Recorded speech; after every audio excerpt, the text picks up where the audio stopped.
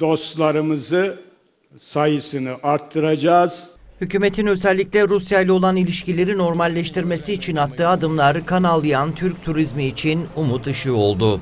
Her şeyden önce Rusya, İsrail, diğer ülkeler e, bu tür yakınlaşmaları biz turizmciler olarak ve rehberler olarak e, olumlu karşılıyoruz.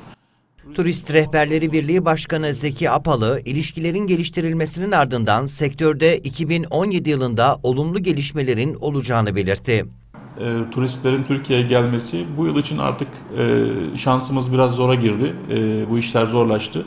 Ancak önümüzdeki yıldan itibaren son- sonuç alınabilir Rus açısından da. Apalı, Antalya esnafının da nefes alacağı görüşünde. Hangi bölgelerimiz olumlu etkilenir? E, en çok e, tahminim Antalya bölgesi olumlu etkilenir.